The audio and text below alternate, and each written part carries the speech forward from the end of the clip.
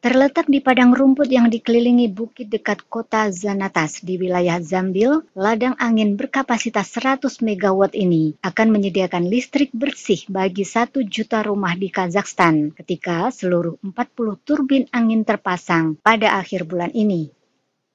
Masing-masing menara turbin memiliki bobot lebih dari 300 ton dengan tinggi hampir 150 meter. Turbin tersebut akan mengurangi emisi karbon dioksida hampir 300 ribu ton per tahunnya.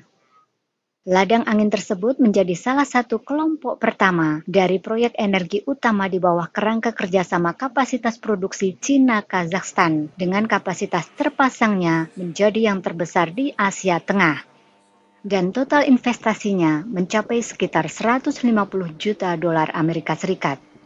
Koresponden kantor berita Xinhua melaporkan dari Nur Sultan, Kazakhstan.